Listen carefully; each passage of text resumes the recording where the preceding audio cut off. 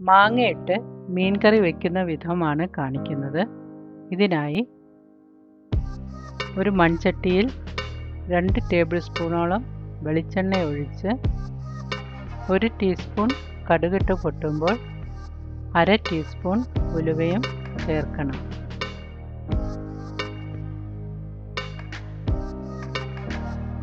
അതിനുശേഷം ഒരു table spoon ഇഞ്ചി അരിഞ്ഞത് ഒരു ടേബിൾ സ്പൂൺ വെളുത്തുള്ളി അരിഞ്ഞത് ഒരു ടേബിൾ സ്പൂൺ ചുവന്നുള്ളി അരിഞ്ഞതും എല്ലാം ചേർത്ത് നന്നായി വഴറ്റണം. ഇതിലേക്ക് രണ്ട് തണ്ട് കറിവേപ്പില ഇടാം. അതും ഒന്ന് വഴന്ന് വരുമ്പോൾ ഒരു മൂന്ന് പച്ചമുളക് കീറിയിടണം.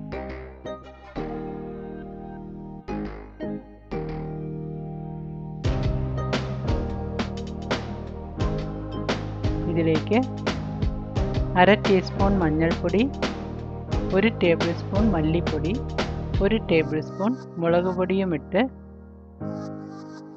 ആ പൊടിയെല്ലാം ഒന്ന് ചെറിയ തീയിൽ മൂപ്പിച്ചെടുക്കാം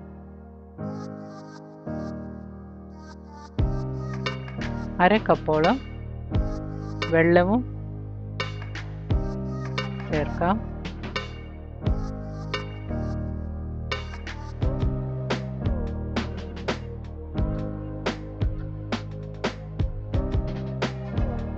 ഇതൊന്ന് നന്നായി തിളപ്പിക്കാം.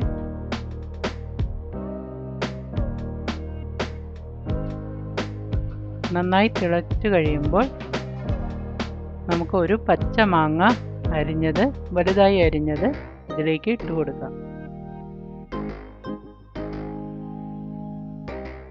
അതിനുശേഷം ഒരു സ്പൂൺ ഉപ്പ്. മാങ്ങയുടെ പുളി അനുസരിച്ച് ഇടാവുന്നതാണ്.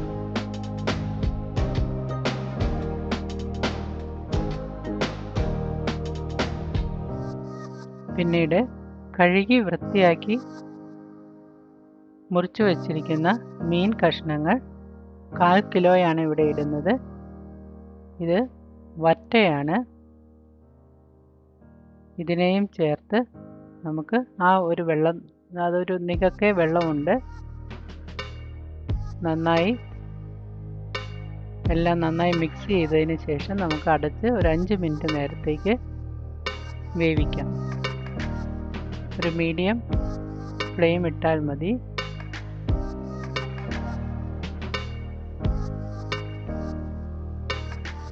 അതിനുശേഷം ഓപ്പൺ ചെയ്ത് അതൊന്ന് നമുക്ക് മിക്സ് ചെയ്യാം. ഇതിലേക്ക് അര കപ്പ് തേങ്ങ നന്നായി അരച്ചത് ഇതിനകത്ത് ഒഴിക്കാം.